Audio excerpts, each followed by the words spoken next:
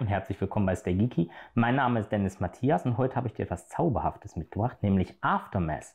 Aftermath ist der Nachfolger von Maus Mystic, einem sehr erzählerischen und märchenhaften Spiel, ist von Playtime Games äh, ein Spiel für zwei bis vier Spieler mit einer angegebenen Altersangabe von 14 Jahren oder darüber. Sollte man aber nichts drum geben. Das ist primär höchstwahrscheinlich, um die Spielzeugbestimmung etc. zu umgehen. Das ist definitiv für jüngere Spieler geeignet und eigentlich auch empfehlenswert, eben weil es halt auch so märchenhaft und kindgerecht geschrieben ist. Spieldauer angegeben ist 60 bis 120 Minuten und äh, in Aftermath spielen wir wie angegeben nach dem Untergang. Es ist praktisch ein, eine dystopische Sci-Fi-Variante von Maus und Mystik. Klingt sehr düster, ist aber ähnlich märchenhaft gemacht.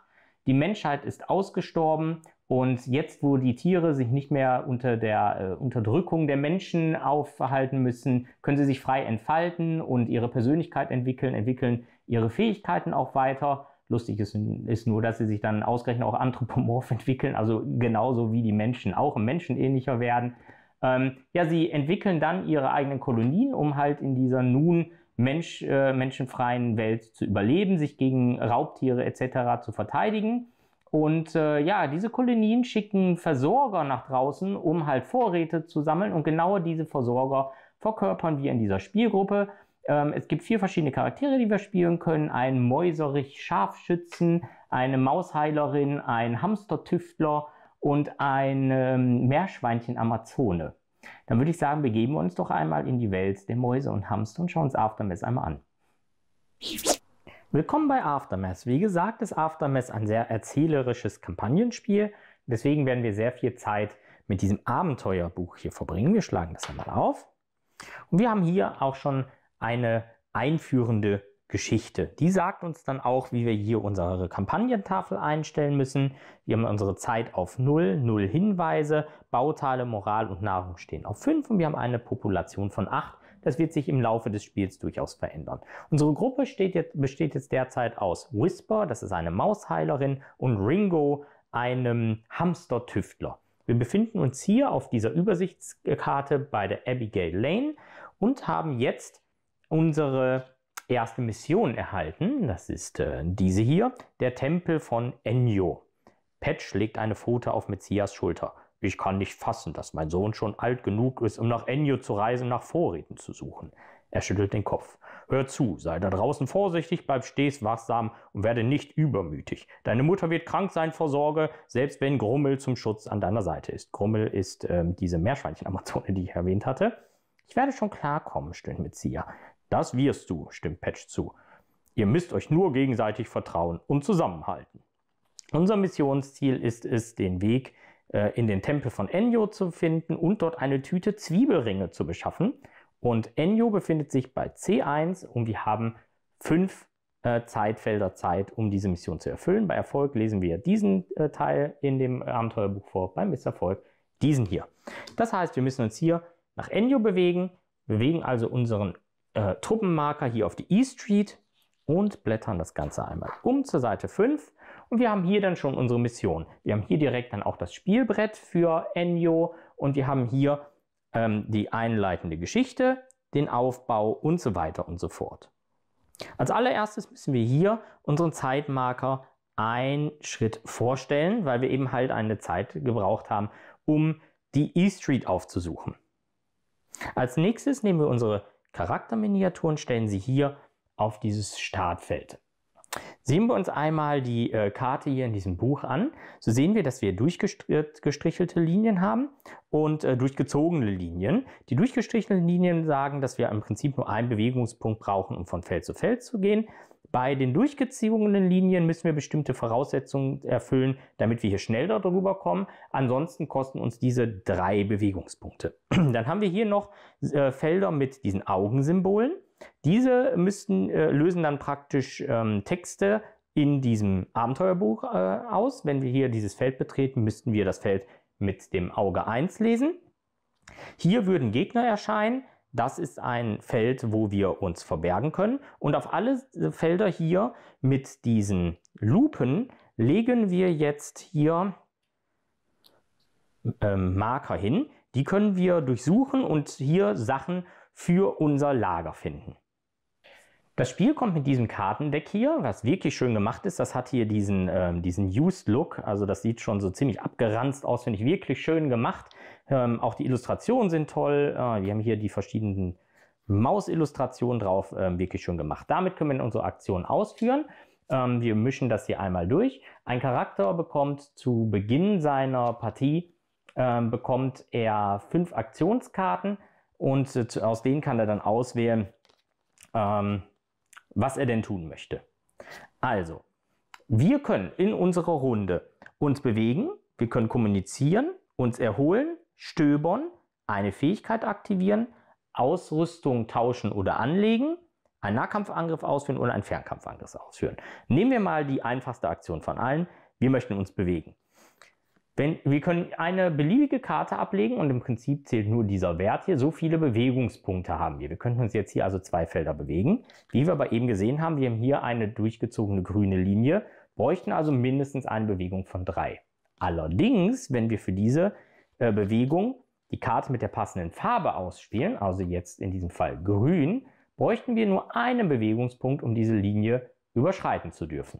Zudem hat Whisper mit dem S-Stäbchen die Fähigkeit, dass sie Felder mit äh, durchgezogenen grünen Linien wie äh, freie Felder behandelt. Sie darf da also einfach so durchziehen. Gehen wir jetzt aber einmal davon aus, wir würden in dieser Runde Ringo spielen. Man darf mit seinen Karten so viele Aktionen ausspielen, wie man denn möchte. Dann könnten wir als allererstes zum Beispiel mit der grünen Karte eine Bewegung ausführen und würden uns hier auf dieses Feld bewegen und könnten mit dieser Karte dann noch eine Bewegung ausführen, um in das benachbarte Feld zu gehen. Möchten wir eine Probe ablegen, so müssen wir mindestens eine Karte der entsprechenden passenden Fähigkeit ausspielen. Wenn wir jetzt zum Beispiel stöbern möchten, das können wir tun, um diese Marke hier aufzudecken und für uns zu gewinnen, so brauchen wir die Glühbirne. Wir würden also diese Karte hier spielen, hätten damit schon einen Wert von 3. Ringo hat ohnehin auch schon einen äh, Intelligenzwert von plus 2, damit haben wir also schon mal eine 5. Wir müssen den Zielwert von 2 erreichen.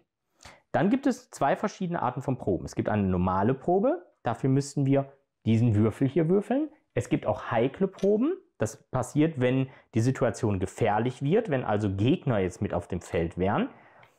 Da müssten wir zusätzlich auch noch diesen schwarzen Modifikationswürfel würfeln. Wir haben es jetzt sicher, würfeln also noch diesen Würfel, haben minus 2, erreichen aber insgesamt eine 3, haben damit den Zielwert erreicht, können jetzt hier dieses Plättchen aufdecken. Damit gewinnen wir für uns eine Batterie. Diese Batterien können später im Laufe des Spiels benutzt werden, um bestimmte Gegenstände aufzuladen. Bringt uns derzeit nichts, bekommt Ringo. Schauen wir einfach mal, was uns die anderen Marker noch so bringen würden. Hier würden wir jetzt beispielsweise zwei Käse erhalten. Wir würden entsprechend die Nahrung weiter, weiter drehen. Damit bekommen wir zwei Bauteile. Und hiermit würden wir ebenfalls nochmal zwei Nahrung bekommen. Im Prinzip sind die nicht sonderlich abwechslungsreich am Anfang, diese Plättchen. Wir würden hier nur weitere Ressourcen für uns äh, bekommen. Gehen wir jetzt einmal davon aus, Ringos ähm, Runde wäre jetzt vorbei und Whisper würde ziehen und würde diese Karten hier ziehen dann sehen wir, dass es auch diese schwarzen Bedrohungskarten gibt. Wenn wir so eine Karte ziehen, müssen wir die hier an dieses äh, Feld anlegen, zwar von oben nach unten. Das heißt, hier oben würde diese Karte hinkommen. Sieht man jetzt äh, leider schlecht, ich lege es mal in die nächste, nächste Reihe.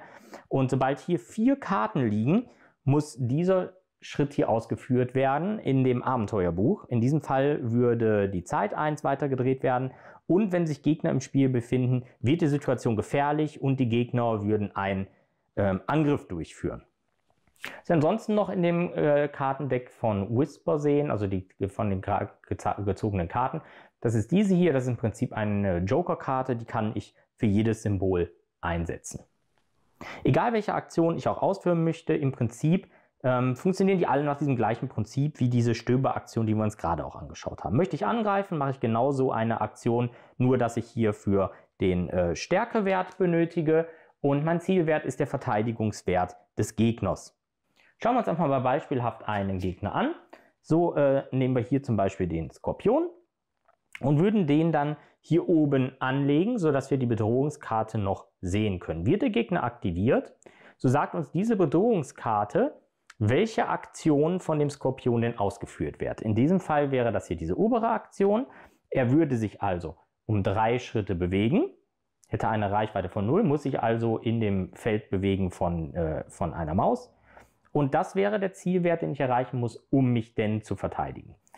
Das hier ist der Verteidigungswert des Skorpions. Wenn ich meine Angriffsprobe mache, muss ich also eine 4 erreichen oder überschreiten.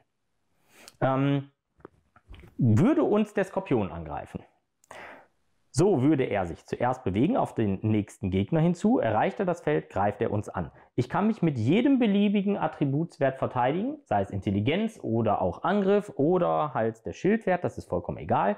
Und ich muss damit einfach nur einen Zielwert von 5 erreichen, dann verteidige ich mich, ansonsten erleide ich den Schaden. Der Skorpion hat zwei Lebenspunkte. Jeder Angriff, der ausgeführt wird, ähm, wenn er trifft, verursacht einen Schaden. Das heißt, der Skorpion müsste zweimal getroffen werden, um aus dem Spiel genommen zu werden. Ansonsten gibt es noch die Aktion Kommunizieren. Befindet sich ein Gegner auf dem Feld und es ist noch sicher, habe ich die Möglichkeit, diesen, äh, diesen Gegner zu äh, überreden, ein bisschen zu belabern. Das heißt, ich gehe hier in dieses Feld, muss eine Probe ablegen, heikel dieses Mal. Äh, ich muss also diesen Würfel mit dazu würfeln. Auf Intelligenz schaffe ich die Probe, so wird meine Population um 1 erhöht. Ich gewinne diesen Gegner also äh, praktisch für mein Lager und er wird aus dem Spiel entfernt. Damit ich das tun kann, brauchst du einen Charakter, allerdings einen Kommunikationswert. Das hat dieser Skorpion jetzt hier nicht. Schauen wir uns nochmal einen anderen Charakter an, äh, einen anderen Gegner. Hier beispielsweise die Duckmaus. Die hat jetzt beispielsweise so einen Kommunikationswert. Wenn ich diesen Wert äh, erreiche, würde ich diese Maus von unserer ähm, Mission überzeugen und sie wird sich unserem Lager anschließen. Ich kann mich erholen. Dafür kann ich einfach eine Zustandskarte abwerfen und muss hier dann äh, die, den Probewert erreichen, der auf der Zustandskarte angegeben ist. Stöbern haben wir uns gerade schon angeschaut. Ich kann äh, Ausrüstung anlegen oder auch tauschen. Ich habe praktisch zwei Hände zur Verfügung, einen Kopf, einen Körper und Zubehör und ich kann zwei Gegenstände auch in meinen Rucksack packen. Den Nahkampf und den Fernkampf haben wir gerade im Prinzip auch schon besprochen und das sind eigentlich auch im Prinzip schon alle Fähigkeiten, die oder alle Aktionen, die ich dann auch ausführen kann. Das kann noch modifiziert werden durch Gegenstände, ich habe, hier zusätzliche Aktionen, die mir mein äh, Charakter noch gibt oder aber auch ähm, die Charakterkarte an sich. Möchte ich jetzt hier diese Karte verlassen, müsste ich dieses Feld betreten und kann dann mich dazu entscheiden, die, ähm, ähm, diese Mission zu verlassen und wenn alle Charaktere das Szenario verlassen haben, würden wir hier diesen Punkt vorlesen und äh, wir würden hier mit Seite 6 in dem Abenteuerbuch weitermachen. Das Spiel kommt mit unterschiedlichen Boxen. Wir haben jetzt hier dann auch noch die beiden anderen Charaktere mit Sia und Grummel. Dann haben wir hier noch eine Box für unser Lager, die anfangs leer ist. Da kommen später dann noch Karten äh, hinzu, die wir erwerben. Das hier ist eine Abenteuerbox, die hält im, Prinzip, äh, im Prinzip alle Geheimkarten. Die, äh, die, das Abenteuerbuch wird uns von Zeit zu Zeit anweisen, eine bestimmte Karte hier rauszunehmen und beispielsweise den Begegnungsdeck hinzuzufügen und so weiter und so fort. Und dann gibt es hier noch eine Box für verbannte Karten, die ausgeschlossen werden auf Grundlage von Entscheidungen, die wir treffen und so weiter und so fort. Dann, wie gesagt, kommt das Spiel hier mit zahlreichen Miniaturen. Die sind auch direkt schon mit einem äh, Wash bearbeitet, wodurch diese Figuren auch schon so äh, eine Art Schattierung haben, ein bisschen plastischer wirken. Das ist sehr hübsch gemacht. Dann können uns hier dann auch schon so etwas dickere Gegner äh, erwarten und nicht äh, zuletzt Smoky. Also die ist wirklich sehr, sehr eindrucksvoll gemacht. Das ist eine Katze, die wir, das wird auch direkt eingangs im ersten Text schon erläutert, auch aus der Tierhandlung befreit haben. Die ähm, war mit uns zusammen eingesperrt. Tja, und so dankt sie es uns jetzt. Das als grobe Regelübersicht von Aftermath. Allzu viel können und wollen wir hier gar nicht verraten, da wir ansonsten äh, die Gefahr begehen würden, hier zu spoilern. Ähm, der Rest ergibt sich dann halt aus dem weiteren Verlauf der Kampagne. Wir können, wie gesagt, auch Entscheidungen treffen, was wir hier schon sehen. Es gibt dann auch noch verschiedene Punkte in dem Regelbuch, die wir erst lesen dürfen, wenn bestimmte Ereignisse eintreten, wenn wir Entscheidungen treffen und so weiter und so fort. Wie gesagt, diese Punkte dürfen wir nur vorlesen, wenn wir die entsprechenden äh, Felder auch betreten. Das heißt, hier kann man etwas im äh, Verlaufe so eines Szenarios auch durchaus entdecken und ja, gegebenenfalls auch auslassen. Abhängig davon, wie lange wir dann jetzt letztendlich brauchen, um äh, nach Enyo zu gelangen und hier unser Missionsziel zu erreichen, ähm, müssen wir schauen, ob wir erfolgreich sind oder unsere Mission fehlschlägt. Und was dann passiert, das erzählt uns ebenfalls das Abenteuerbuch. Schauen wir uns noch einmal das Regelwerk von Aftermath an. Das ist leider sehr, sehr unübersichtlich aufgebaut.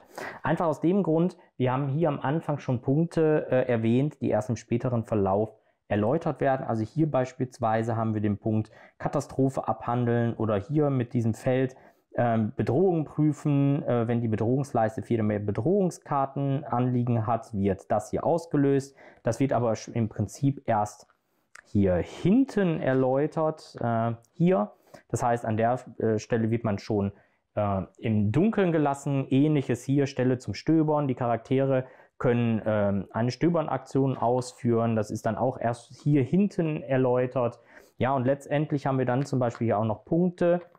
Wenn jetzt zum Beispiel ein Charakter ausgeschaltet wird, hier besiegte Charaktere, dann steht hier, äh, er erhält den Zustand schwer verletzt. In diesem Regelwerk wird aber auch nirgendwo erwähnt, was passiert, wenn er denn schwer verletzt ist. Das steht dann nur auf der Zustandskarte, die man dann erst einmal raussuchen muss.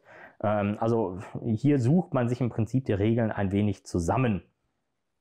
Auch bleiben einige Sachen unerklärt. Beispielsweise können die Charaktere nachher so individuelle Aktionskarten dazu gewinnen.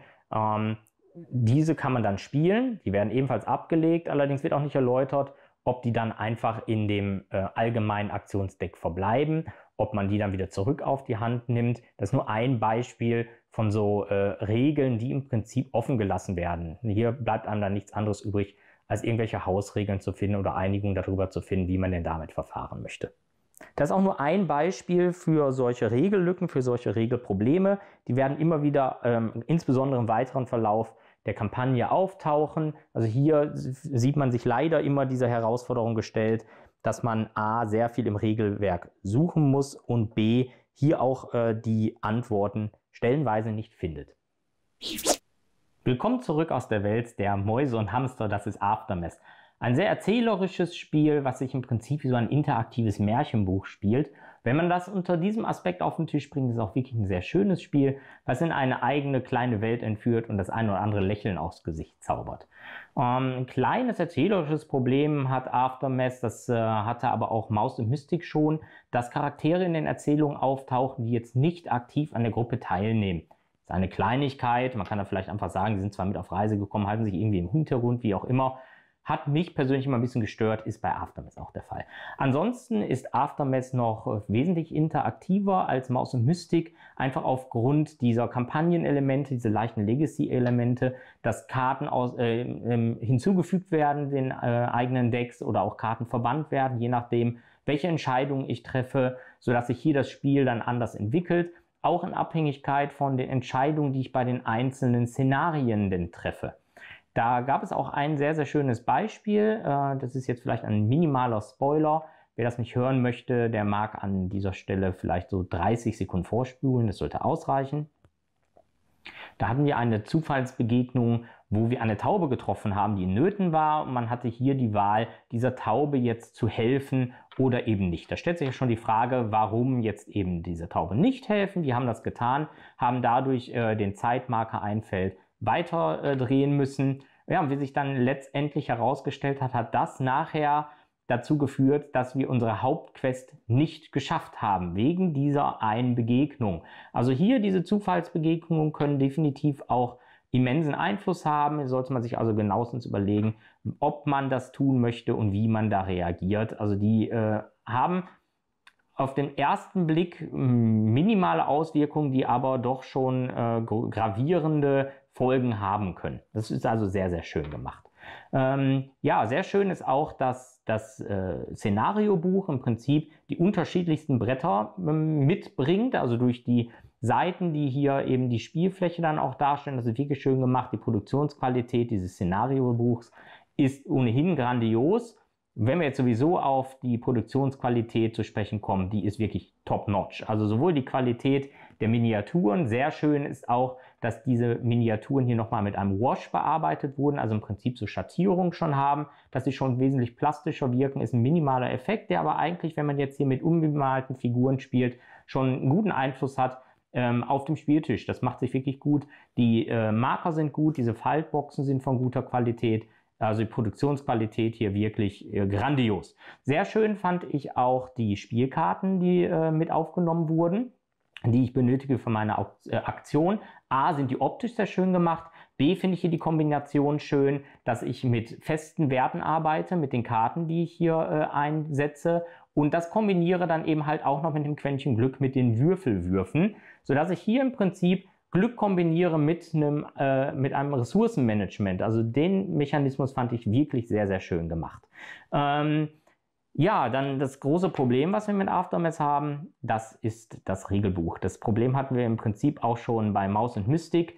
Das Regelbuch ist wirklich sehr schlecht aufgebaut, also dass äh, der Einstieg unheimlich schwer ist. Viele Sachen werden im Regelbuch auch gar nicht erläutert, beispielsweise die verschiedenen Zustände, die ein, Charakter haben kann. Die werden im Regelbuch zwar erwähnt, aber was sie jetzt für einen spielerischen Einfluss haben, das steht dann nicht. Das sieht man dann erst anhand der Karten. Also hier muss man selbst auch Recherche betreiben und das ganze Spielmaterial durchforsten, da, bevor man hier überhaupt schlauer wird. Dann sind mehrere Sachen auch nicht wirklich ähm, erklärt oder erläutert, beispielsweise mit den persönlichen Aktionskarten, die später hinzukommen. Was passiert mit denen, wenn die gespielt wurden? Bleiben die im Deck? Nimmt man die wieder zurück? Das ist nicht erläutert. Da gibt es mehrere Sachen in dem Spiel, die nicht klar sind. Und äh, ja, hier bleibt einem eigentlich nichts anderes übrig, als Hausregeln zu entwerfen oder halt Einigung zu finden im Spiel, wie man das Ganze dann jetzt ausführen möchte. Da gab es dann schon in unseren Testspielen auch mehrere Diskussionen, die ähm, ja aufgrund von so Regelunklarheiten entstanden sind. Ähm, ja, hier besteht auch die Gefahr, dass man gerade am Anfang Sachen falsch spielt, einfach weil sie in den Regeln nur versteckt erwähnt sind oder nicht wirklich explizit. Nach ein paar Spielen bekommt man das raus, dann merkt man auch schon, was man da gegebenenfalls für einen Fehler begangen hat. Aber wie gesagt, das macht die ersten Spiele sehr kompliziert, weil man eben halt auch immer wieder in den Regeln nachschauen muss und wird hier oft auch nicht fündig.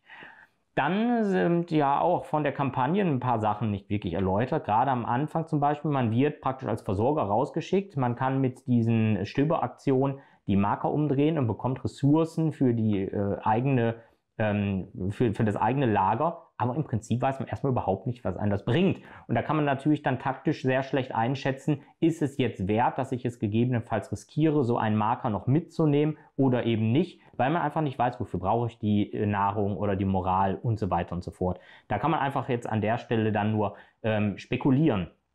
Äh, ja, was man da ansonsten noch sagen kann, ähm, das Spiel ist spielerisch äh, schon recht repetitiv. Also die Sachen wiederholen sich sehr stark. Das ist sowieso von, äh, sowohl von Szenario zu Szenario als auch von den ähm, Regeln her. Also im Prinzip, egal ob ich jetzt stöbere, ob ich angreife, ob ich mich verteidige und so weiter und so fort. Es sind auch immer wieder die gleichen äh, Proben und die gleichen ähm, ja, Ressourcen, die ich hierfür benötige. Also ich muss meine Karten spielen, da muss ich die Würfel würfeln. Und das wiederholt sich eigentlich ständig im Spiel. Also von, vom Spielmechanismus her ist es äh, eher eintönig und nicht so sonderlich abwechslungsreich, wobei hier von den Szenarien her da auch schon ähm, einige frischer Wind mit ins Spiel aufgenommen wurde. Da sind ein paar sehr schöne Sachen dabei.